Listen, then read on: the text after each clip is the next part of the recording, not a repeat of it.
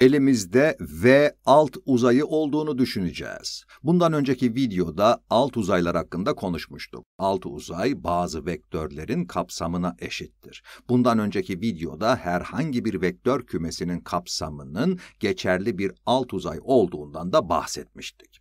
Hemen not ediyorum. V1, V2 ile başlayacağız. N tane vektör olacak yani Vn'ye kadar geleceğiz.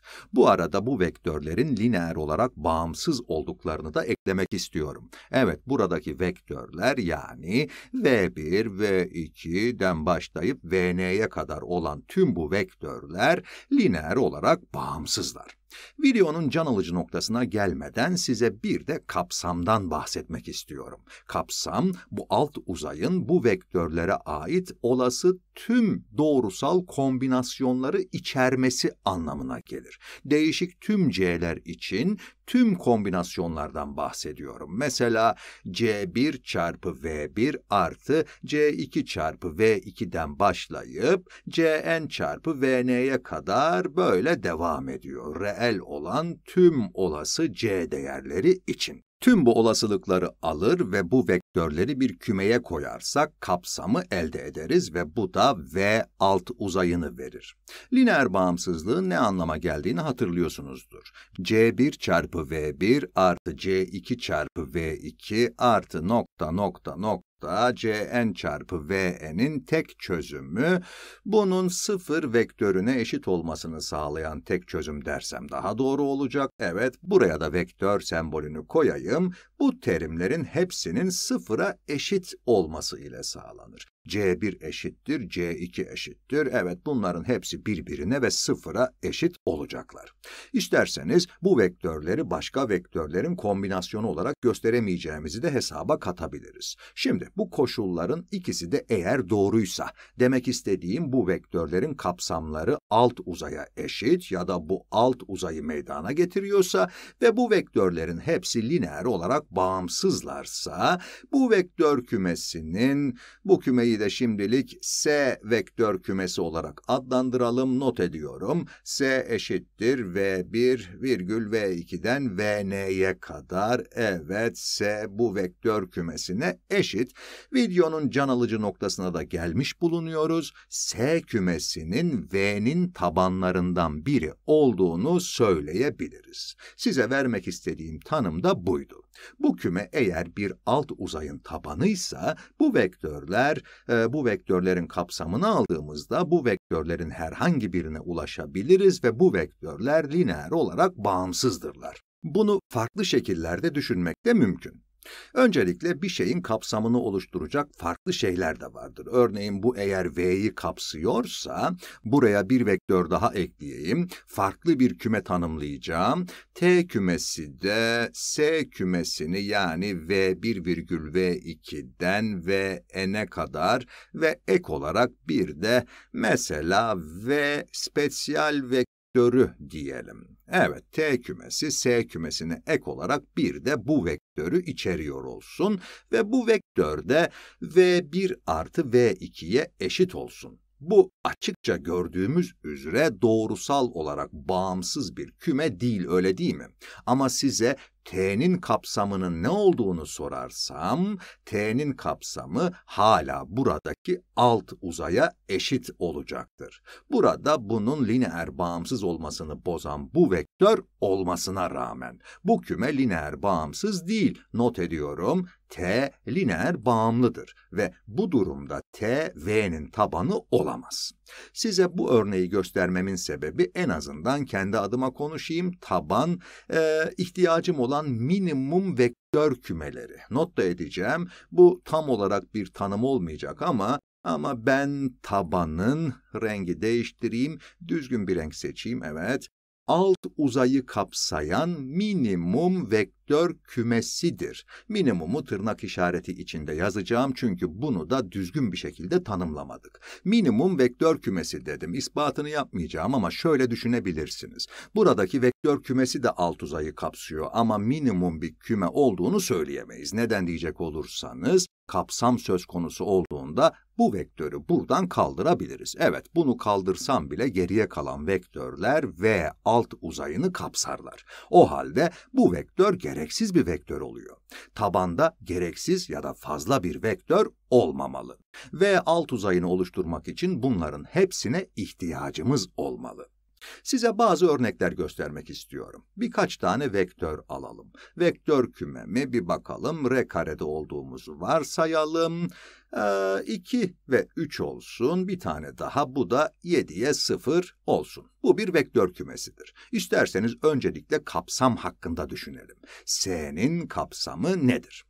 Tüm doğrusal kombinasyonlardan bahsediyorum. R karenin hepsi olup olmadığına bir bakalım. Eğer hepsi ise R karedeki herhangi bir şeyi bunların doğrusal kombinasyonları ile elde edebilmemiz lazım. O zaman C1 çarpı 2'ye 3 artı C2 çarpı 7'ye 0. Bu eğer R kareyi kapsıyorsa R karedeki herhangi bir noktayı oluşturacak C1 ve C2'yi bulabilmemiz lazım. Bunu ispatlayabilir miyiz dersiniz? Bakalım. 2C1 artı 7C2 eşittir X1 ve 3C1 artı 0C2 yani 0 eşittir X2 yazıyorum. İkinci denklemi alıp iki tarafını 3'e bölersek C1 eşittir x2 bölü 3 elde ederiz.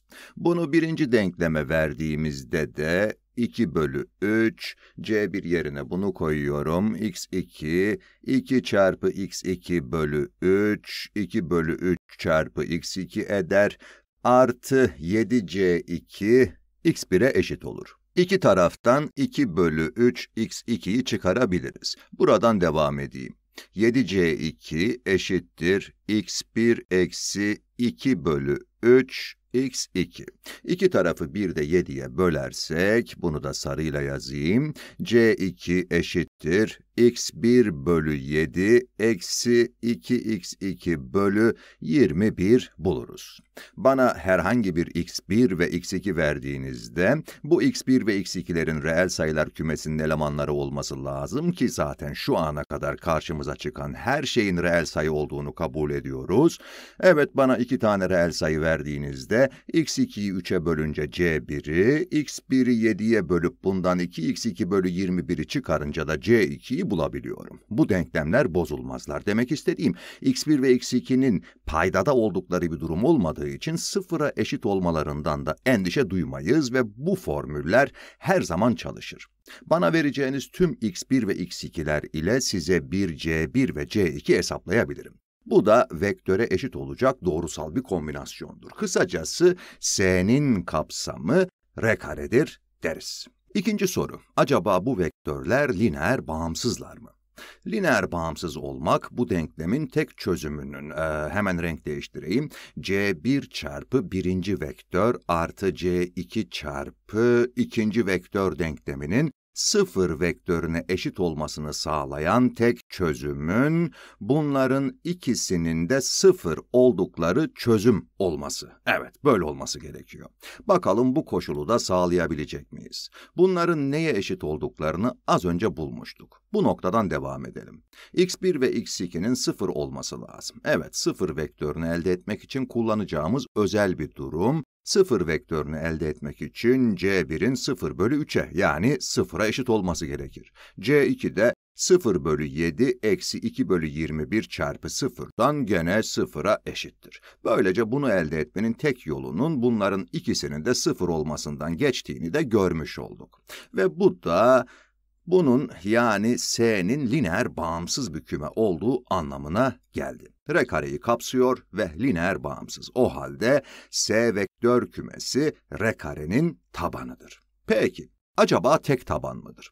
Hemen basit bir vektör düşüneyim. Evet, mesela şöyle olsun. Adına da T diyelim. Ee, 1, 0 ve 0, 1 kümesini oluşturuyorum. Bu acaba R kareyi kapsar mı? X1 ve x2'yi elde etmek istediğimizi düşünelim. Bunu bu iki vektörle nasıl yapabiliriz? Her zaman yaptığımızı yapalım. x1 çarpı 1, 0 artı x2 çarpı 0, 1.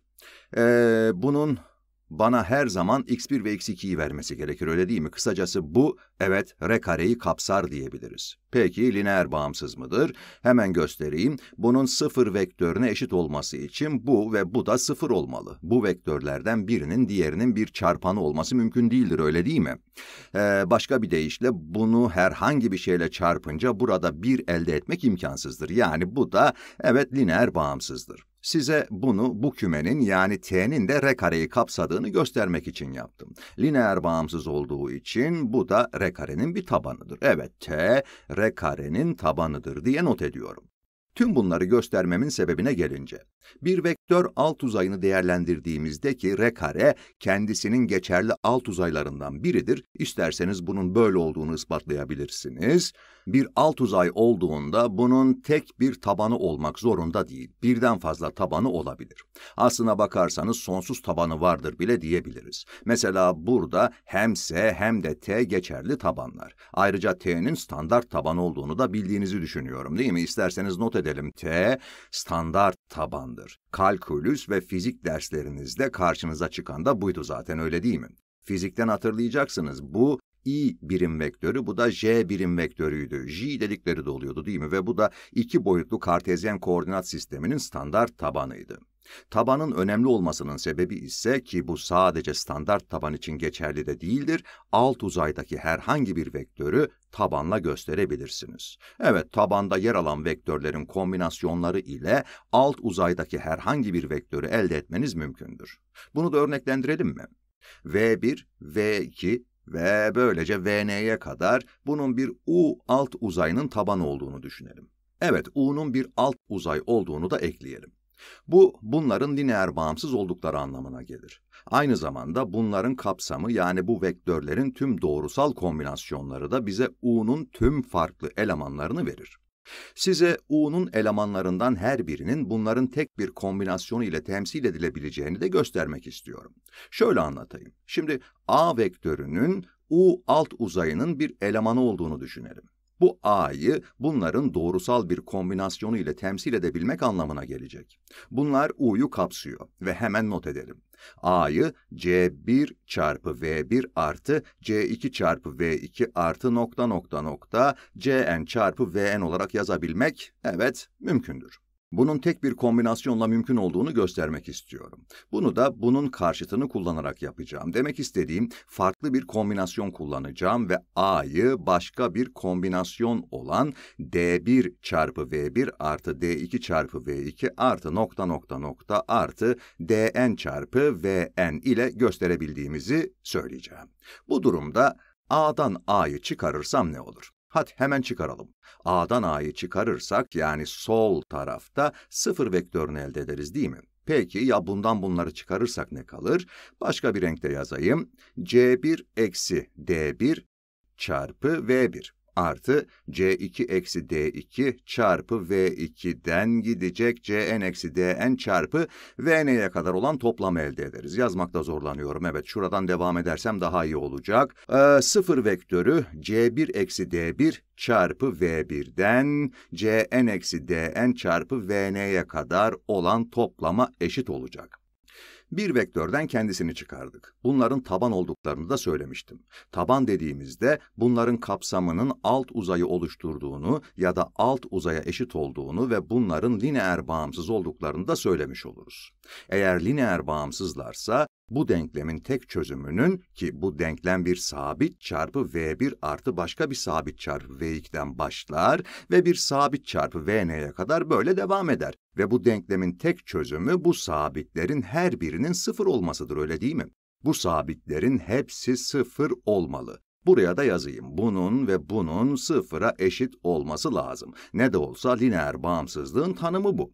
Bu lineer bağımsız bir kümeydi ve bu sabitlerin hepsi eğer sıfırsa, evet mesela eğer bu sıfırsa C1 D1'e, C2 D2'ye ve böylece Cn de Dn'e eşit olur. Lineer bağımsız olmasından yola çıkarak bu sabitlerin hepsinin birbirine eşit olması gerektiğini bulduk. Karşıt diyerek de bundan bahsediyordum. Farklı olduklarından yola çıktık ama lineer bağımsızlığın tanımına bağlı olarak birbirlerine eşit olduklarını bulduk.